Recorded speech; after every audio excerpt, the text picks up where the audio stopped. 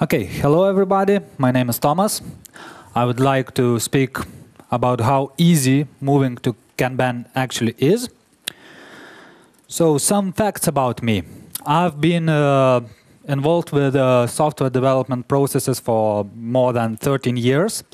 I've seen waterfall, I've seen iterative development, incremental, uh, looked at Scrum, XP, all the practices and everything.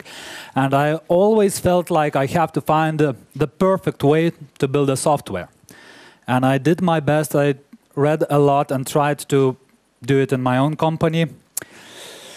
Well, only to find out that there is no perfect software development methodology. Why? Because every team is different, every project is different, and you have to be flexible and adapt to see what works for you best. Currently, I'm uh, running my own business for more than 10 years. And one of the reasons why I am running my own business is because uh, I was stuck in different companies trying to invent the processes and push the processes to the companies, and I felt resistance because I say, okay, let's do it this way now, and everybody like, ah, we used to do it different way. So I felt big resistance, and I thought, okay, nobody, nobody understands me, so I'll do it in my own playground. So I had uh, plenty of opportunities to try different models to see how things work. And um, today I'm talking about Kanban because this is the conclusion that I reached after all those years. Actually, while still working with Waterfall, we, we had one process which worked pretty well. It was not a process per se, it was just uh, having a weekly goals on a board, sort of tasks, and there we would uh, put uh, names of the people who have to do them, and then we would have daily review on what's happening, did they complete some of the tasks, what are the changes, or something. So in the essence, it was a little bit like sprints in a Scrum. We had one week sprint where we plan just for this week, and whatever we cannot do in this week, we shift to next week. Of course, back then nobody spoke in such terms, but this thing really worked for us. Why? Because when you try to put everything in nice Gantt chart, things change and it's very difficult to have Gantt chart updated. I don't know, how many of you have worked in a project which has a A3, A2 Gantt charts? Are they always up to date? okay. Okay, so it was important to understand that you can't really predict everything and you don't have enough uh, manpower to support Gantt chart if you want to get it up to date. okay, I have no clue what Kanban is and I'm here speaking. Why? Because Kanban is a nice word, it's popular now and I hope that we get all those people here because of this keyword. Uh, no, fun aside, uh, actually, I do, don't know what Kanban is because if you ask somebody, everybody will tell different things. You have to have the board which is set up like this and that. You have to do this, you have to do that. Everybody who does Kanban has their own Kanban, their own processes and methods in organization. And so you cannot uh, get the definite answers to almost anything. And whenever you ask, what should we measure if we are doing Kanban? And they say, it depends. And all the answers you will get mostly are concerned with it depends. But there are some principles which uh, are common for all the organizations that are doing this or that want to do it. So I'll try to go through them. Okay, the main thing what I see, this is disclaimer, this is my personal view about Kanban is that you should stop starting and really start finishing things. So unless you have finished something, don't start something uh, new because otherwise you just pile a whole lot of unfinished stuff, which unless it's finished and deployed and customers can use it, it has no value to anyone. okay, what uh, I like about Kanban now that I am a little bit aware of what could it be is that uh, it's quite easy to adopt in any kind of organization. Why? Because you just start where you are. You don't need to change the roles, you don't have to change responsibilities, you don't have to relocate the teams into cross-functional collocated team, which is not always feasible if you work distributed way, for example. So you take your organization, you exploit all the good things that you had, and then you can move from that uh, as a starting point. Also, uh, the resourcing is flexible, so you can at any time add people to a team, uh, allocate them some tasks. You don't have, uh, like in Scrum, for example, you have velocity, which is true if the team stays the same. As uh, soon as you change a person in a team, your velocity starts varying. And uh, what we want to do with process control to eliminate variability. And uh, basically, you try to find methods where you can uh, control variability. Also, uh, all the times where I tried to work with time-boxed things, it didn't go as planned. Because you make an estimate, and uh, the only point in time when you really know how much it takes to implement one feature or another is when you are done. Before that, it's all based on predictions, and predictions sometimes are good, sometimes are bad. You can spend a lot of time on inventing the system where you can predict exactly on the task level. And has anybody succeeded in that? Okay, maybe not here. maybe somewhere in ideal world. So, uh, and it's closely related to time boxing. If you time box things which you estimate wrong, you get a lot of failures but those and you start retrospecting them and you see okay we failed because of wrong estimations or wrong that. All all uh, things like in past well those were post-mortem meetings. In waterfall you have all the project and then you see what went wrong. And uh, in 90% of cases you will get uh, we estimated wrong. So why estimating if everybody is estimating wrong? Also the Kanban focuses on the whole value stream, not just about the development tasks. So uh, if you try to find problems and solve the problems, you will identify a bottleneck, for example. So natural thing to do is to push harder on that bottleneck, try to make it more efficient. But there are other possibilities which are way easier if you look at the process as a whole. Maybe you should limit amount of work coming to that bottleneck by directing the work to other places. For example, uh, if there's a test engineer and uh, you see that you have bottlenecks in testing, one way is to put more testers, ask testers to be more productive, or simply decide what things have to be tested to what extent and really put qualified testing engineers to work on testing environments and stuff, and uh, then let some people who are idle resources do some testing which is exploratory or any other methods. So it forces you to see the whole of a process instead of focusing on specific parts of the process. And another feature is that there are more processes in an organization than software development. And Kanban can answer the questions to all of those processes and how they talk to each other. So you have separate Kanban boards, process definitions, and then you define how the task move from one process to another, what are the service level agreements between the processes, what are the queues. So everybody knows on organizational level, like there's planning, deployment, and everything, and you can control all the process.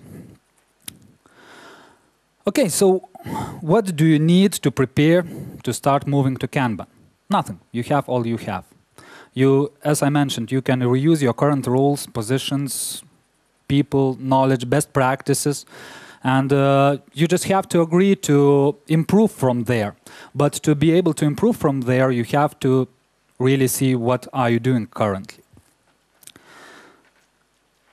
And uh, this comes down to the properties of Kanban. I will not read my slide because I will go through each of those uh, independently. So there are five basic properties according to David Anderson.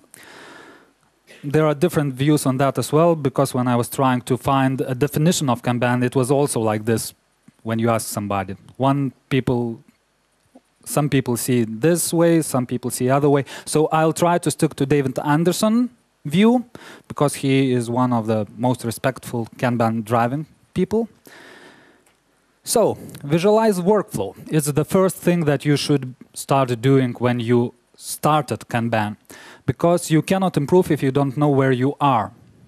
And uh, it also allows for all the team to understand where you are, not just uh, having some statistics extracts from your reporting systems, but all the team sees constantly what's happening in your project and they can make decisions how to improve it.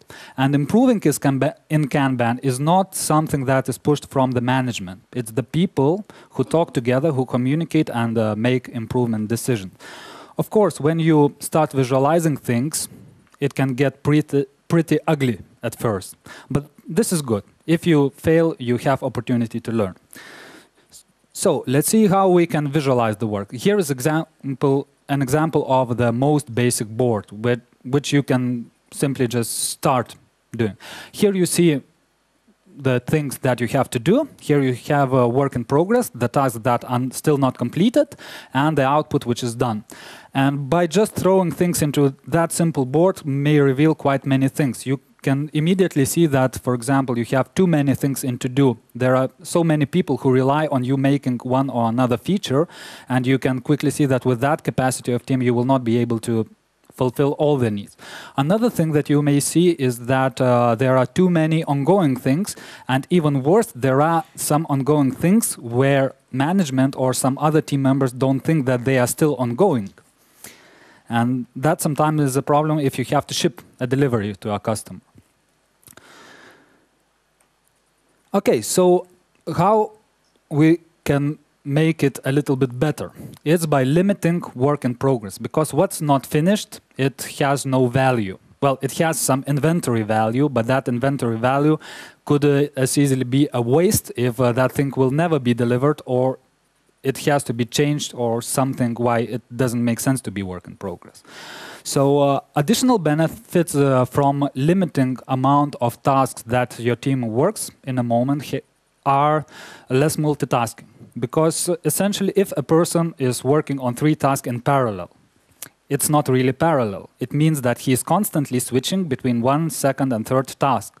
And context switching is really a waste because you don't bring value by thinking, okay, now let's switch to that task. I have to remember something from previous, and okay, where I was with this task.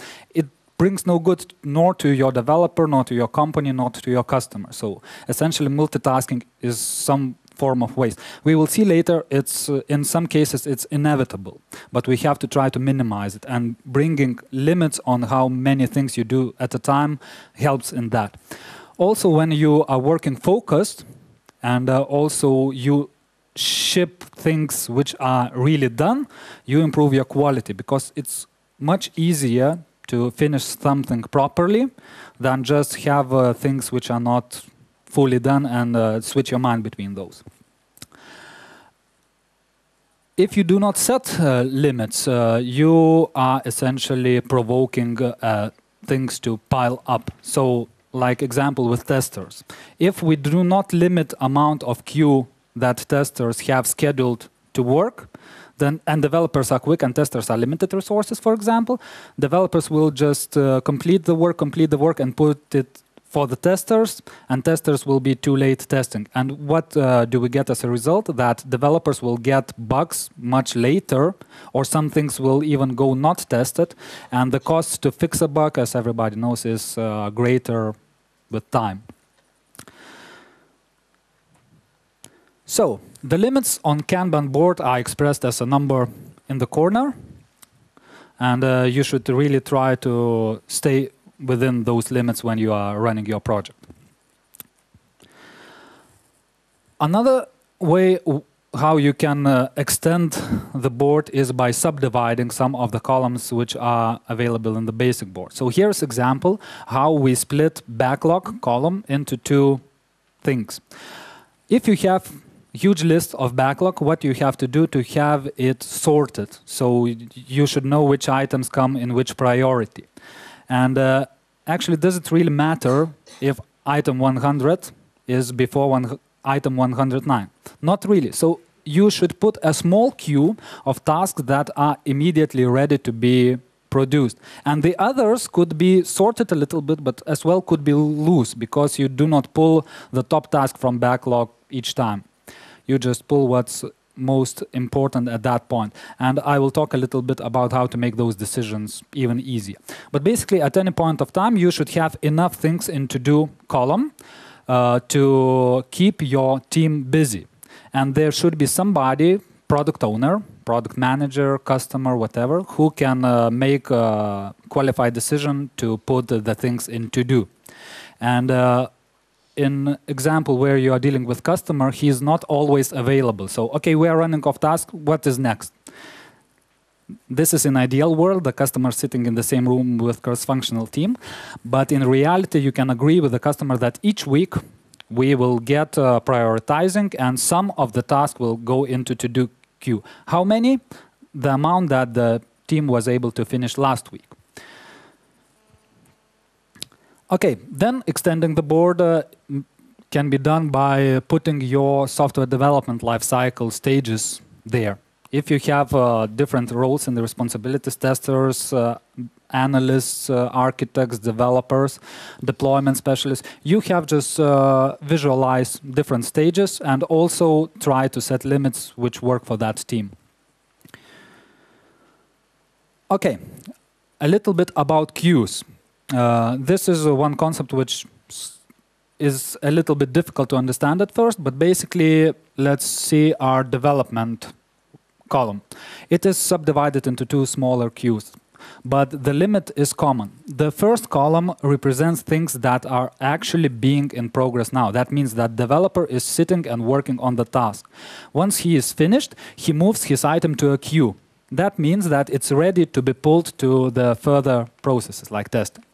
And why we have common limit here, not uh, separate limits, because having one limit on both columns, we can make total amount of work in progress smaller than setting uh, two separate limits. So imagine that we have two people in our development team and the limit of three is quite good. Both of them can be working on something and there is one item uh, waiting for testing.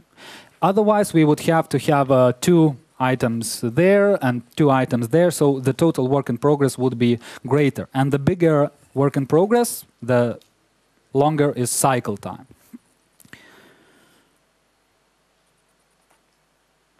Okay, so imagine that you went through all those steps and really visualized what is happening in your organization. And by what is happening in your organization, I mean the real stuff not what uh, your procedures tell that it should be happening. Because in most cases in some cases it's not exactly the same. So if uh, they're telling that we should have a coding then review then this and that and this is not happening. You should not paint the board according to what is told that is happening but really what is happening and then you can st immediately start seeing the problems day zero most probably will look something like that where you have huge stack of uh, tasks which you are committed to do, like here in to do, we have limit of two, but actually we have five tasks.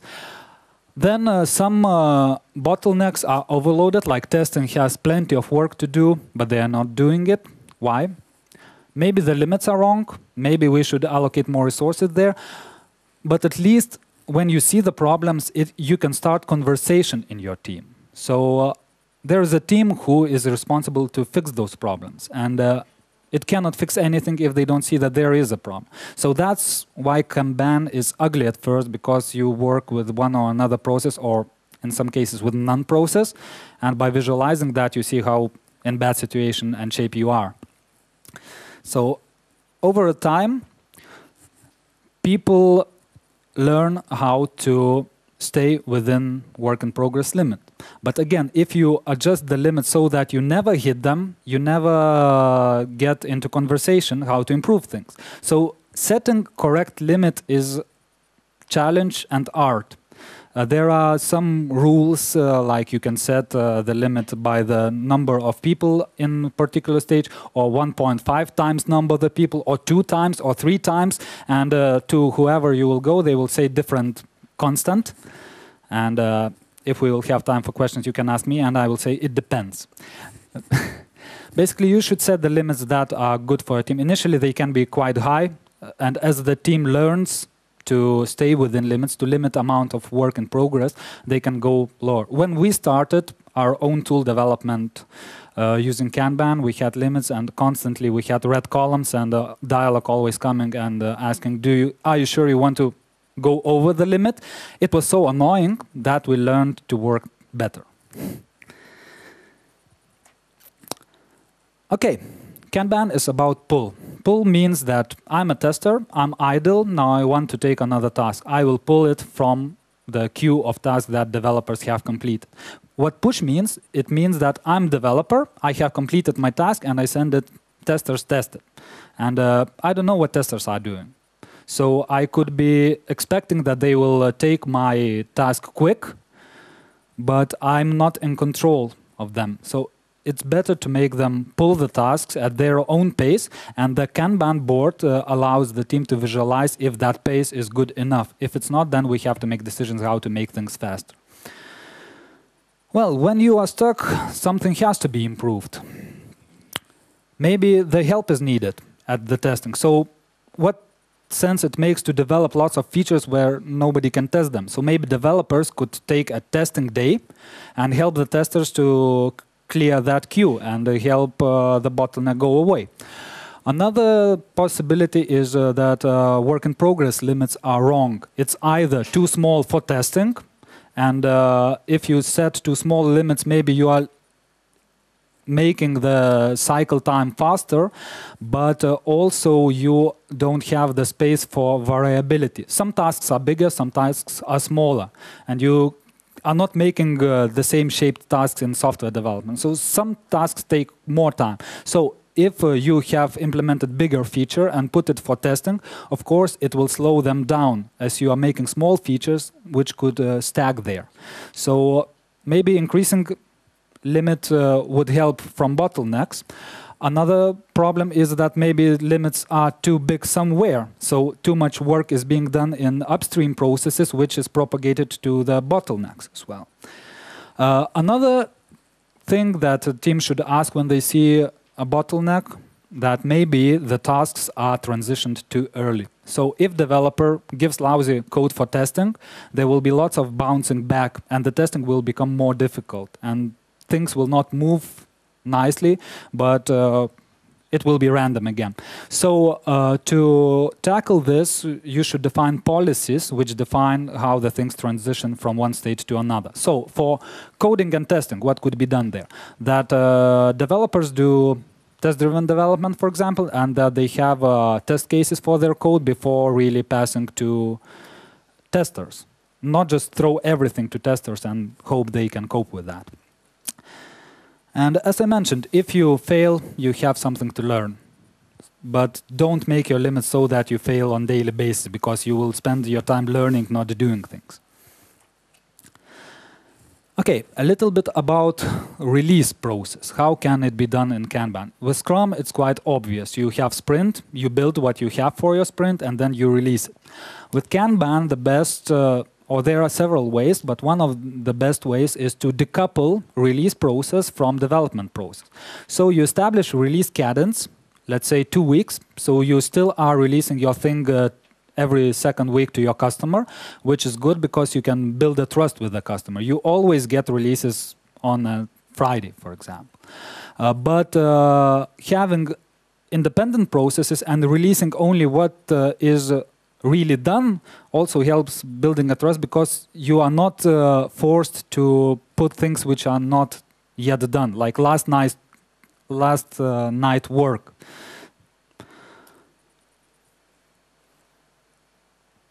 Okay another option is to have goal oriented releases. And uh, goal orientation uh, means that uh, you don't release because it's two weeks you release because you have something important which is uh, as a whole of a features is something that is meaning, meaningful to your customer. So uh, when you have goal oriented releases your planning and development and release goes to support those goals. I will talk a little bit about goal oriented releases later. But basically goal oriented releases have no time boxing. Okay now there are some more concepts like uh, blockers. If there is some problem with the task, uh, your visual board should identify clearly that uh, some task is stuck. So everybody working in the team can immediately see and trigger some action on those blockers. Usually the team should focus on blockers first uh, compared to regular work. Uh, also, concept of blocking when you are doing with external resources like you need more specification. And if you set your work in progress limit so that each developer can do one task at most and he ran into some problems he cannot start other work although customer might take a week to respond. So uh, work in progress limits have to take care of blockers as well. Uh, you can also put a priority lane uh, where the task of high priority appear and they don't have to go through all the to-do queue or to, through backlog. Basically there are exceptions like critical bug or issue in the deployment environment. So everybody if you define the policy that priority lane is priority everybody will take care of those priority things first then of blockers and then uh, return to the daily work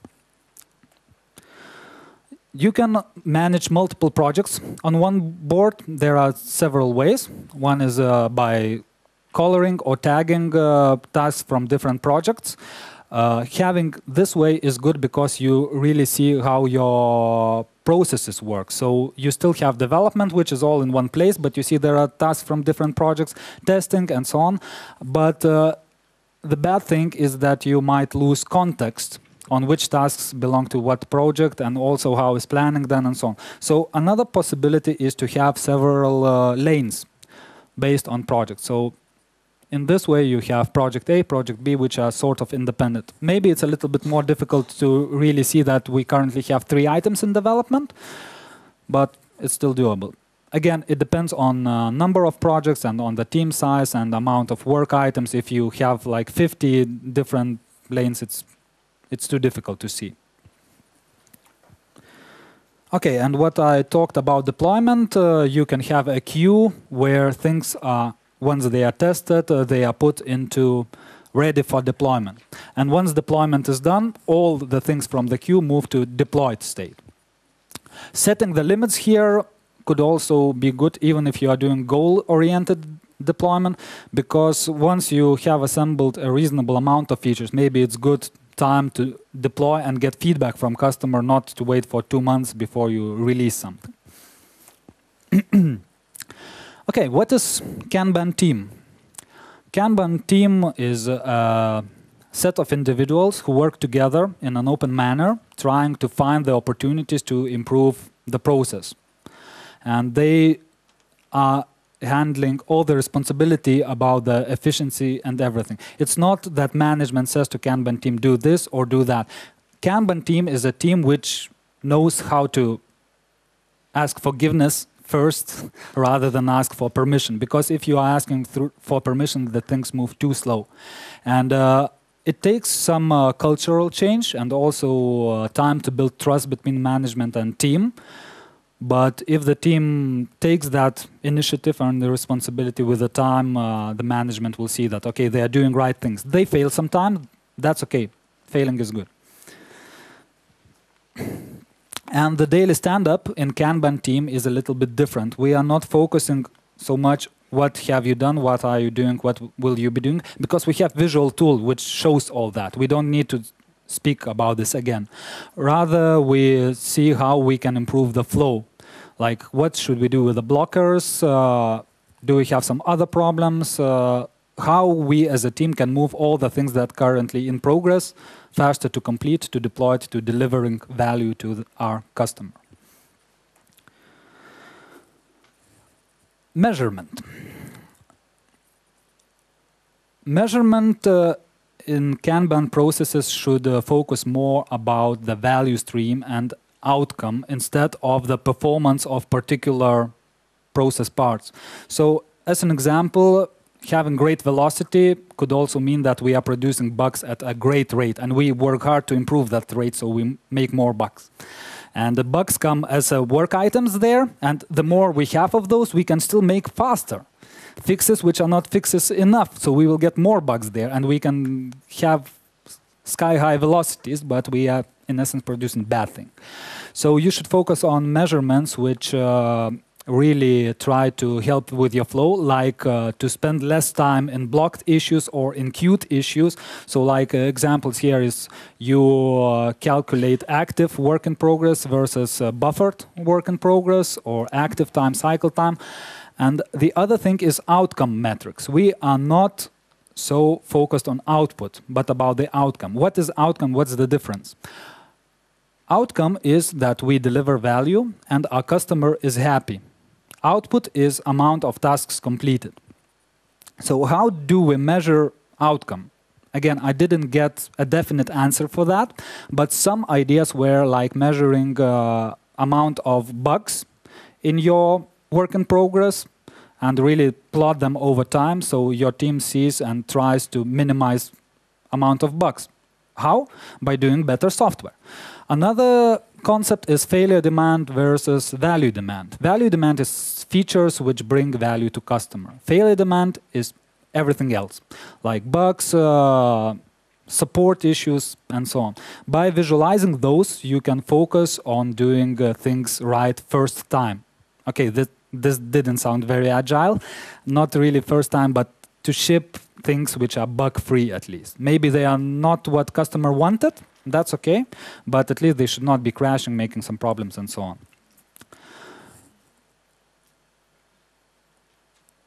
And uh, by fixing those metrics, in essence, what are you doing? You are making your velocity smaller, which is a bad thing. But it's not bad thing because uh, failure demand can take up as uh, much as 80% of your whole production time.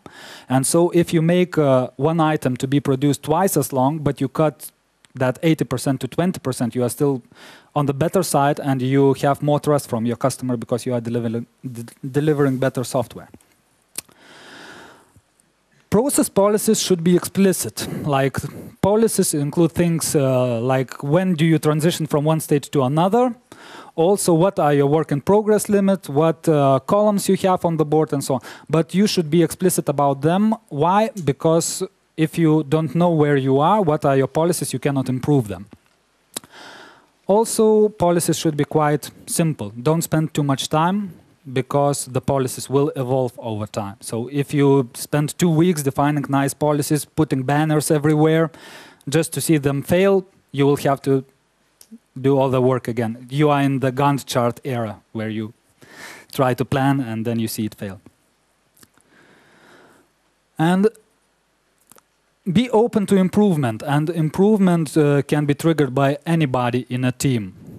Also, as I mentioned, Kanban is no process or method which is standard for all. It's about people agreeing to improve together based on the state they are at current point of time. Okay, and uh, some final things is uh, how we use the Kanban in Eylean team. Eylean is a product that I'm working for. I use the screenshots from, from it, and uh, we are developing it using Kanban itself. And we have two asynchronous processes. One is uh, planning, so we don't plan too much to the future because we continuously try to get in touch with our customers, get feedback, and to really reprioritize things before they get started being done. So we don't want to have a strict list of things that we are doing. And uh, for the planning to be successful, in essence, what we have to be able to answer, what is the next thing for me to pull as developer? And why is this thing important? So we try to stay in context because if you just throw tasks at the developers, they're coding, they cannot contribute to the team because they don't understand why. And why is as important as what. And the other process is production. And in production, uh, developers really code, and uh, we try to believe that they do their best to code things as good as possible, and they can use Kanban to improve that way. But again, I could uh, set estimates and they say in the end, okay, you estimated three hours and you spent seven hours. Why is that? But it's a waste of time both setting estimate and then discussing why it took seven hours, because uh, in most cases it will be estimate was wrong, and uh, when you hear it for the hundredth time, it has no information in it. You just hear the same thing and you can make no conclusion. So rather to allow the team really to try to work on getting things better, to spend less time on fixing bugs, to do features faster, and uh, just assign them the right things to do and explain why it is important to our customer. Which brings to another topic which I uh, heard in uh, uh, Agile Lean Europe conference a month ago, and it was quite a mind opener uh, about uh, the systems. There are ordered systems, different type of system, but basically what uh, the people tend to see that now the systems are identified as complex. That means that there are agents like developers, and there is system which defines some rules, and they are co-evolving together. It's not that system is strict and defined, and you try to fit agents there. It's also not chaos, so people don't do random things, but they co-evolve together with system. And in essence, there is feedback loop inside, and it means that this system is not predictive. You cannot see where the system will end after a year or two years, because developers might find different things. Each team will find different things and try to improve their own way. So uh, having uncontrollable and unpredictable system, you cannot go and try to say, okay, this is the process you will work, because it's just an illusion that you have control. So let the people evolve, encourage open atmosphere there, and hope for the best, and try to steer them by doing careful metrics and seeing, okay, there are, might be problems we have to do something about, but, don't be prescriptive prescriptive about how they should solve it. And uh, I really wish somebody have told me this when I was starting with process engineering, because I studied lots of literature and tried to find the perfect system, which does not exist. Another takeaway from that conference is celebrate failures too, because failure is a learning opportunity. And uh, from psychological point of view, human brain is better to learn to avoid failures it met in the past than try to imitate the success pattern. So really fail, learn, improve, and be happy.